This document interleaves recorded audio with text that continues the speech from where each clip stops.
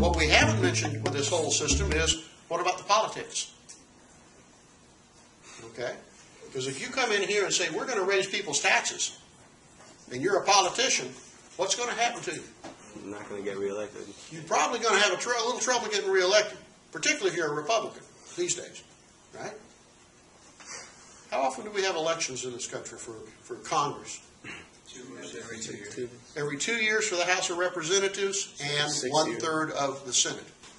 So the furthest ahead a politician can afford to look is about two years, which means he doesn't necessarily take into account the long-term implications of these policies. All right so far? All right. Last call, because I'm gonna, I'm gonna add a couple of complications now. All right. I'm going to change that consumption function. We'll leave the other numbers where they are.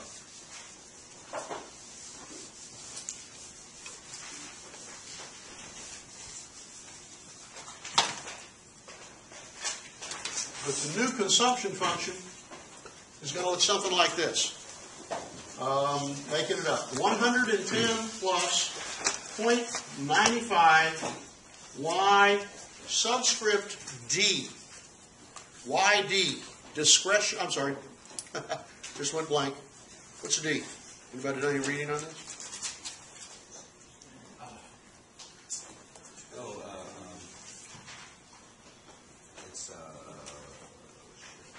Disposable income, okay? It means after-tax income. So now we're also going to plug in how much the taxes are in this economy.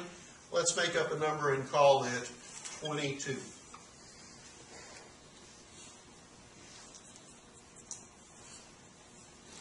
Now, what we want to remember is that YD is gross income minus taxes.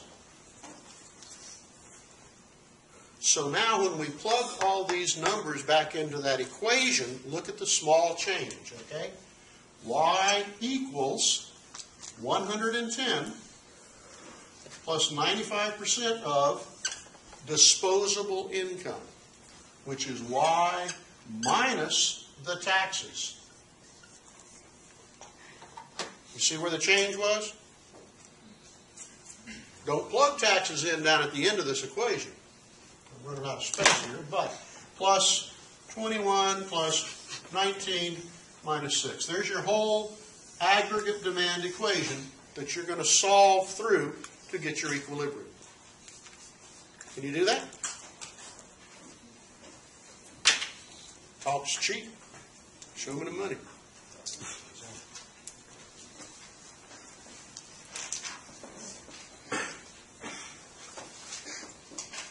Hundred and ten plus ninety-five percent of Y minus, what's point ninety-five times twenty-two?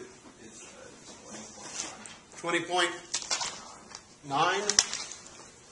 Twenty point nine. And then the other stuff as usual. And so is everybody comfortable with how we got those two terms there? right? Jacob? Okay, so we do not add now the taxes to the end because it's part of, uh, the parenthesis, or within the parenthesis. It's within the parentheses, it's subtracted from your gross income before you start spending money. Everybody comfortable with where twenty point nine came from? Are you comfortable with the fact that it's a negative number? Right? Because we're subtracting it from income. Once you make that, you know, the rest of it's the same. What do we get here? 110, 31, 150, 154. We'll do it the long way here. 154 plus .95y minus 20.9. Does that look about right? I'm making this up as I go along. You need to help me out here.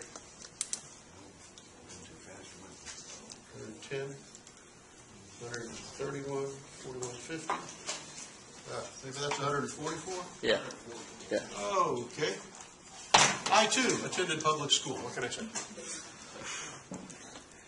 I left the 20.9 out here because I can't do all that stuff at one time in my limited, you know, memory processor brain.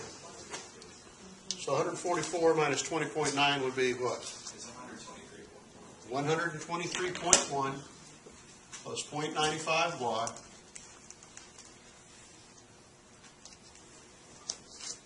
So we get 0.05y is hundred and twenty-three point one. And then we get our equilibrium is two hundred and forty-six, no, twenty-four sixty-two, is that right? Yeah. So there's our new equilibrium. Sir, How'd you get five? I subtracted 0.95y from each side. That's a 1.0y minus 0.95. Good. Where did you get twenty point nine from? One, one more time. I got the 20.9 when I distributed the 0.95 to each of the terms in the Oh, parentheses. sure. Right, right, right. Good. Gotcha. Anything else? Considerably lower number than that 3,200 we had in it. Mm-hmm. Because we're taking taxes out of that spending flow. What would be the next thing we'd look for if we were doing this model? The new gas. Yeah, what's full employment? And based on full employment, what's going on in the economy? And what are the two things that'll be going on in the economy with this Keynesian model? Look at this graph. There's, you're going to be in one of two worlds.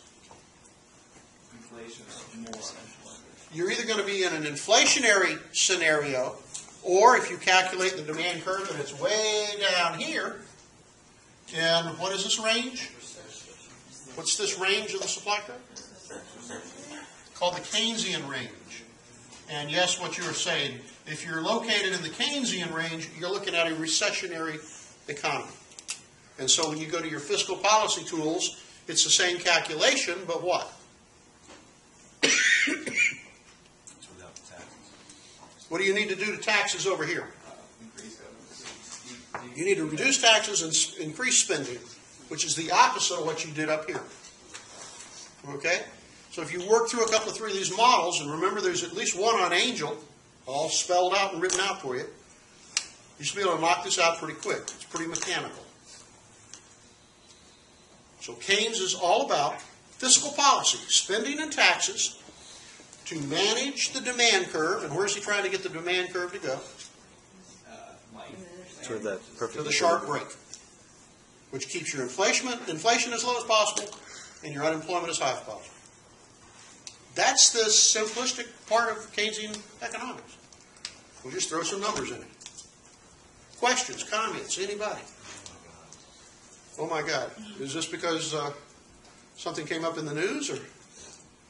Okay, because you made a mathematical error. Yeah, I could live with that. I'm familiar with it. Anything else? Now, we can make this a lot more complicated, and I'm, I know you're excited about that, okay? What else would change the level of consumption spending besides your income and your taxes? Instead of gross domestic product, we can use like net investment. Wouldn't that change things? Yeah, but, but we're gonna stay with gross. You can produce more, like, say the value of the inflation will go down because you have more product in the market. Possi I think what you're alluding to is there's some way in this model, instead of just moving the demand curve, is there some way to move the supply curve and get businesses to produce more? And if you could, if you could move the supply curve further out, what would that do?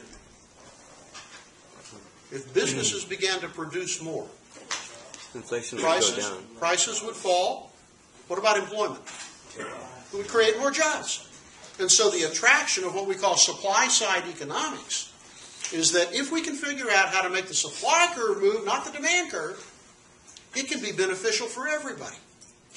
More products, more jobs, more incomes, lower prices. And we've chased that somewhat elusive animal at least since Ronald Reagan. And we'll, we'll be going through that on the third exam, the supply side arguments and experiences. Okay? Here's what I'm thinking. One of the other things that'll change the, the amount of money you spend is interest rates. When interest rates fall, what happens to spending? People borrow more money, run up their credit cards, buy cars, buy dishwashers, okay? So, arguably, if we were talking about the whole economy, we would have another term up here, something like this, minus, I don't know, um, 15 times the interest rate. And then we could plug in a value for the interest rate. The interest rate is 5%. And then what else changes the, the, the way people spend money? Their expectations. When people are feeling good, they spend. When they're feeling frightened, they don't. And so we could find some variable up here. Let's call it the Consumer Confidence Index multiplied by some number. Okay? We could measure expectations. We could plug in a lot of stuff that would affect these spending flows, and we could wind up with an equation that would cover the entire board. And what we're trying to do is we're looking at past behavior, past spending, and saying what kind of things affected it. And based on those things, what's going to happen in the future? How many of you had some statistics? A few. You remember anything called multiple regression? It's where you, you take several variables and ask how do they impact this dependent variable. Remember that? This is multiple regression combined with economic theory, and it's a field of study called econometrics. And if you like that kind of stuff, forecasting what's going to happen in the future, manipulating some numbers, and the math isn't all that bad. There's a huge career field for you out there. If you can learn to use mathematics and statistics to forecast the future, and you're accurate, well, write your own ticket. Okay? Any other comments or questions?